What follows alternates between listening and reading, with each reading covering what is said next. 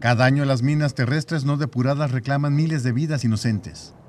Limpiar los terrenos de las minas es una tarea lenta y peligrosa que puede tomar años antes de que una región sea segura.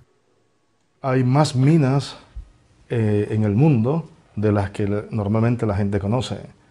Quizás se conoce lo más mediático, pero al mismo tiempo hay cientos de poblaciones en varios países del mundo en donde este, este problema existe.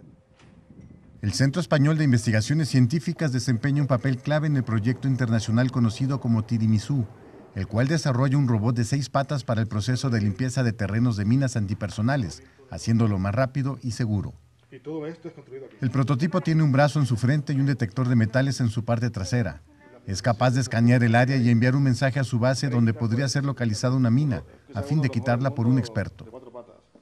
Como tiene patas, puede saltar la mina si es el, si es el caso, y seguir su trabajo.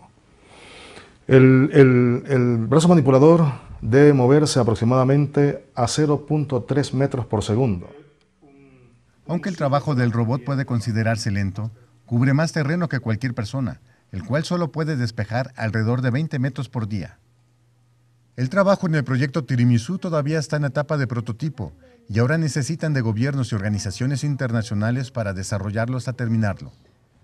Con información de la oficina en Madrid, España, Noticias Xinhua.